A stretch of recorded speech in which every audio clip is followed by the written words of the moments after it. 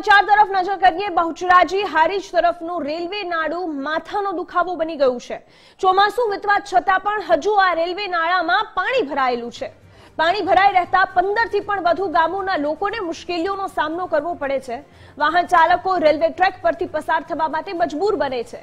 ફાટક વગરના નાળા પરથી પસાર થતા અકસ્માતની પણ ભીતિ એટલી જ સેવાયેલી છે. રેલવે નાળામાં કામમાં પણ અનેક ભ્રષ્ટાચારોના આક્ષેપ ઉઠ્યા છે.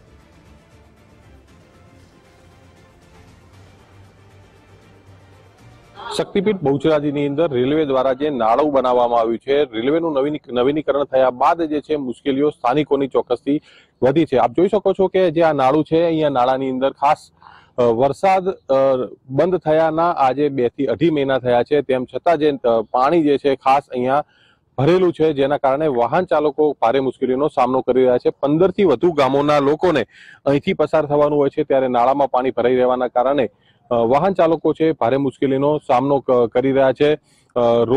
જે નાળું બનાવ્યું છે, એની ગુણવત્તા સામે પણ સવાલ ઊભા થઈ રહ્યા છે. આપ જોઈ શકો છો કે જે કપચા જે છે, રોડ ઉપર નીકળી ગયા છે અને નાળું જે છે, એ હલકી ગુણવત્તાનો ભોગ ખાસ બન્યું છે.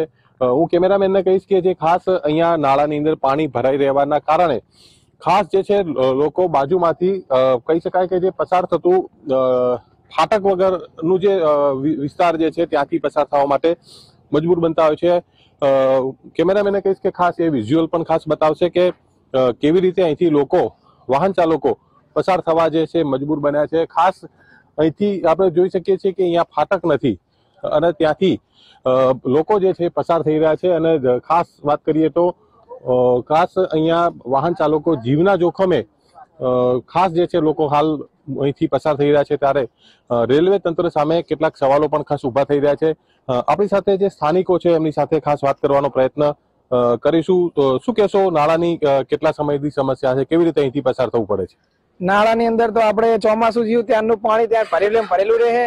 ખાલી થતા નહીં, ખાલી કરવા માટે કંઈક મૂક્યું હોય, પણ ખાલી કરતા નહીં, કશું નહીં. અમારે બાઇક લઈને રેગ્યુલર જવાનું હોય, તો ઉપરથી જવું પડે. ઈમાં, ઈમે પાસે આપણે રેલના પાટા રહ્યા. એ રેલના પાટા હરખાયા નહીં બાઇક નમી જાય એક્ટિવા વાળા પડે એક્સિડન્ટ થવાના બહુ સંભાવના રહે. કાલે પણ એક એક બસ ફસાણી. આ બસ પસાણી થઈ એને બે દિવસ પહેલા પણ એક એક્ટિવા વાળા ભાઈ ત્યાં પડી ગયા હતા. એટલે એ બધી બહુ સમસ્યા રહે. તો નિરાકરણ લાવવું જરૂરી છે આનું. ખાસ સ્થાનિક છે. શું કહેશો રાજુભાઈ અહીંયા કેટલા સમયથી આ પ્રકારની પરિસ્થિતિ છે? કેટલા ગામો જે છે ખાસ પ્રભાવિત થાય છે આ પ્રકારની મુશ્કેલીનો સામનો કરી રહ્યા છે? અહીંયા હારી જતો હાઈવે છે અને ઘણા બધા ગામડાઓ આવે છે. અને પંદર ગામો અહીંયા છે, અહીંયાથી પસાર થતા લોકો હેરાન થઈ રહ્યા છે. બે દિવસ સાથે પહેલા હું ફેમિલી સાથે નીકળ્યો, ત્યારે મારી ગાડી ફસાઈ ગઈ અને બે ફૂટ પાણીની અંદર ફેમિલી સાથે ઉતરી અને અમારે જવું પડ્યું અને મોટા મોટા ખાડાઓ અંદર છે. બરોબર અને બહુ પબ્લિક હેરાન થઈ રહી છે મારી ગાડી પણ ફસાઈ ગઈ, બંધ થઈ ગઈ, ધક્કા મારવા પડ્યા. બરાબર? સાયલેશનમાં પાણી ભરાઈ ગયા. એટલે બહુ સમસ્યા છે એમાં નાળાની. ચોમાસા દરમિયાન. નાણામાં ગુણવત્તા બાબતે વાત કરીએ તો કેવું છે? બિલકુલ ખરાબ છે એમ. ખાડા મોટા મોટા પડી ગયા છે નવું બનાવેલા નાળામાં મોટા ને મોટા ખાડા છે એમ. અને પાણી એટલું ભરેલું રહે છે અને સમસ્યા બહુ જ છે. આ હતા સ્થાનિકો કે જેઓ ખાસ જણાવી રહ્યા છે કે નાળા નાળાની ગુણવત્તા સામે પણ સવાલ થઈ રહ્યા છે. નાળામાં કહી શકાય બબે અઢી અઢી ફૂટના ખાડા પડ્યા છે જેના કારણે વાહન ચાલકો એમાં પટકાય છે અને અકસ્માતનો